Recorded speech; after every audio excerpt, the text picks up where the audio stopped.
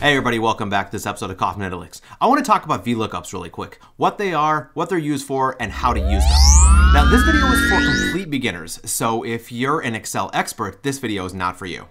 But for the rest of us, let's learn how to do VLOOKUPs. So what is a VLOOKUP anyways? A VLOOKUP, put simply, is a vertical lookup. That's what the V stands for. And you use it when you need to find things in a table or a range by row. And I'll show you exactly what I mean in just a second, but I want to point out that Microsoft has come out with some new functionality like XLOOKUP that supersedes VLOOKUP. VLOOKUP is kind of the, the good old standby. It might be old, but don't discount the value of VLOOKUP. Um, it's, it can be your best friend in a crunch. So let's take a look at how VLOOKUP works. On the screen in front of you, you see a fake generated data set. These are not real people, so I'm not giving out anyone's personally identifiable information. In this tab, we have name, an account number, and a phone, an email, and address.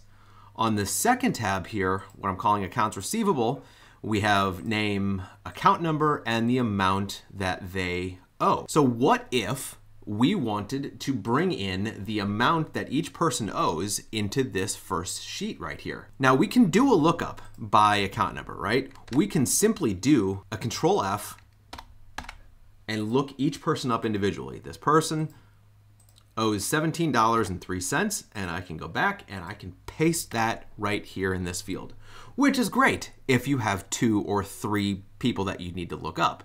But in this case, there's thousands right? That copy and paste just is not going to do it. That's not going to have enough analytical firepower that we need here. So what we're going to use is a VLOOKUP.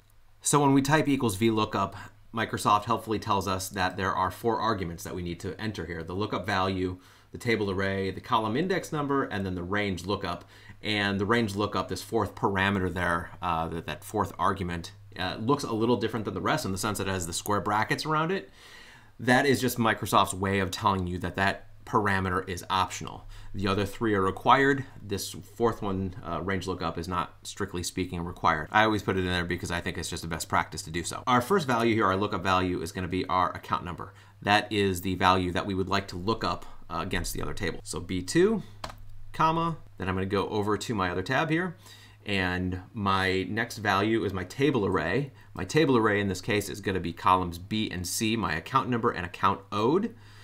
And then my third argument will be the column index number. In this case, it is the number, the integer 2, because my table array is two columns wide, uh, account number and amount owed. So that's I want to return the second column there. And finally, the range lookup you have two options, true or false. True is an approximate match and false is an exact match. In my experience, I have never in my entire life used true. I've never even heard of anyone that does use true.